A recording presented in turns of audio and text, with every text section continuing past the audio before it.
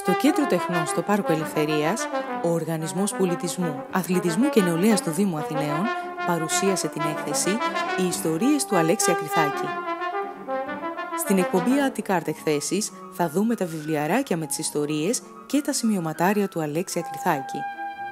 Την επιμέλεια της έκθεσης και την τηλεοπτική ξενάγηση έχει ο καλλιτεχνικός διευθυντής του ΟΠΑΝΔΑ, Ντένι Ζαχαρόπουλος, με τη σημαντική συμβολή της κόρης του Ακριθάκη, Χλώης.